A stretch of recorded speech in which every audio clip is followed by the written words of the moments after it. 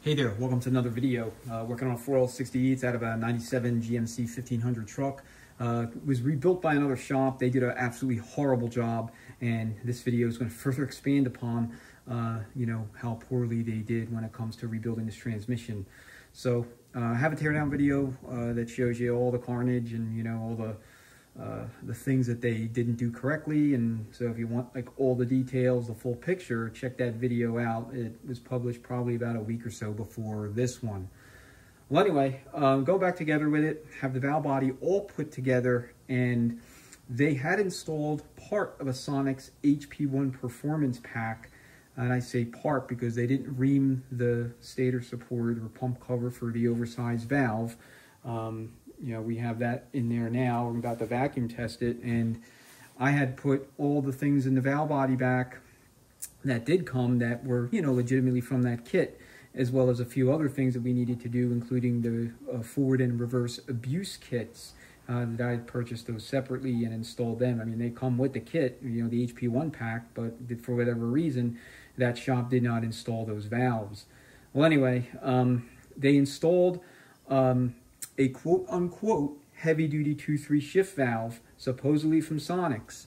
However, um, the one thing they didn't do is drill the little, um, you know, one eighth of an inch hole here at this location to, you know, complete the job, which the whole purpose of installing this valve is so that you can have access to your overruns in uh, D1 and D2 as well as D3, you know, when you're manually shifting. But that's not why I'm making the video. I'm making the video because I've come upon what I believe is another counterfeit Sonnax valve. And I'm making this video because this particular valve looks like a Sonnax valve. I mean, they got the color almost right.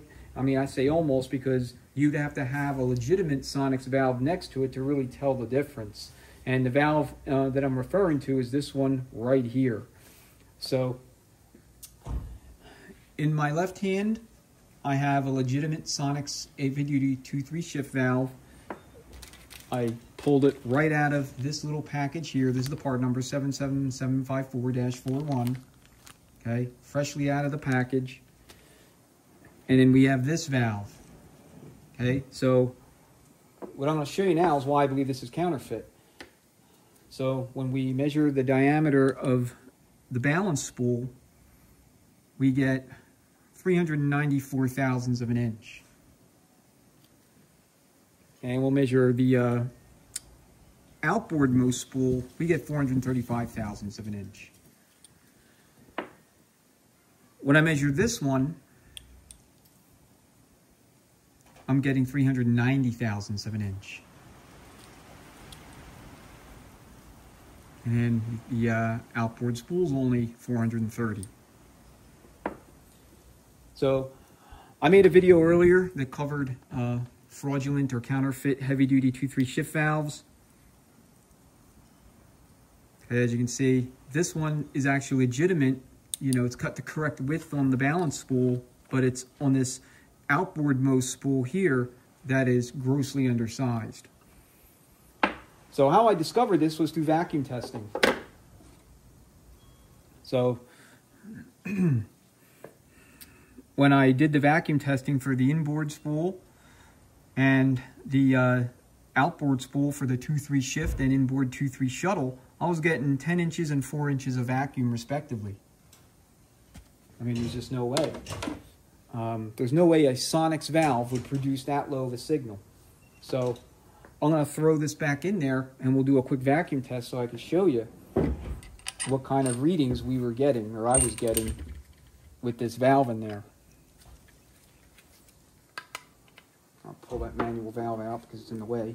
All right, gonna turn on the machine and then we'll show you. I already calibrated the machine. Um, how you wanna do that is just take your test uh, hose or lead, stick it in the calibration receptacle here, fire it up, and then adjust your um, bleeder valve until you have a steady reading of five inches of calibrated vacuum, and then plug the orifice that's right here on the side of the block that will cause the needle to jump up toward 25 inches. You want it reading exactly 25 inches, so you adjust your, this is the bleed valve, excuse me, this is the pump valve. You adjust the bleeder valve to get it to 25 inches of vacuum, and then you adjust the pump valve to get your baseline calibrated 5 inches without you putting a finger there. anyway, I just wanted to hastily cover that so that you know that there is a calibration procedure that needs to be performed. All right, valves in. So the circuitry that we're going to test here, it's going to be this location right here. I'm just going to mark it.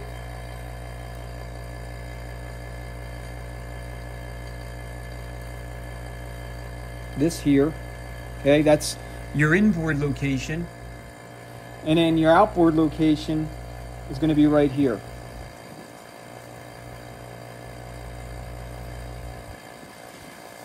And I apologize for the wind. Weather doesn't really want to cooperate with filming. But, you know, I can't put the build off. You know, I can't not get this done because of, you know, wind. All right, so we got 10 inches. Let me zoom in on that so you can at least see the uh, gauge. So that's 10 inches. And then now we're gonna do the outboard spool. I mean, it's still pulling some vacuum, but obviously you can't let this go out the door with only 10 inches of vacuum.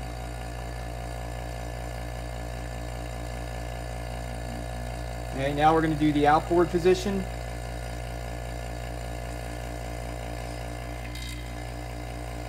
Sorry about that. So we're pulling five inches. So obviously that's no good. No good. Uh, shut the machine off. Zoom back out. You can see the valve body. Then we're going to yank this valve out of here.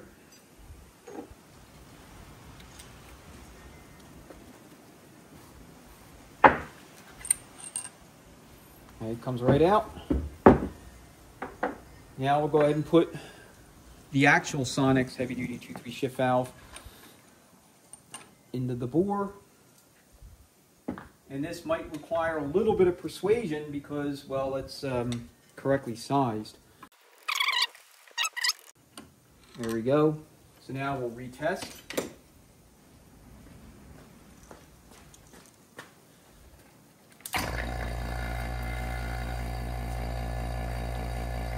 So the two locations.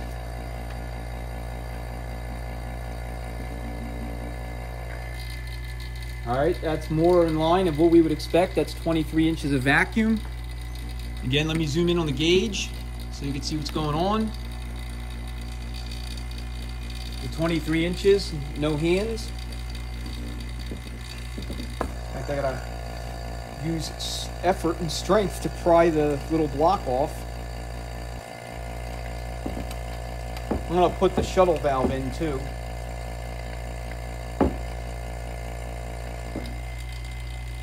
There we go. So that's 18 and a half inches of vacuum. Again, perfectly fine.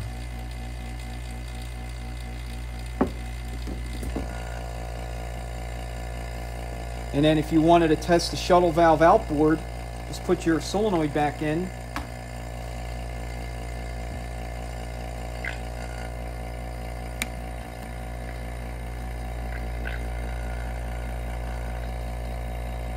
And then you're just going to test here.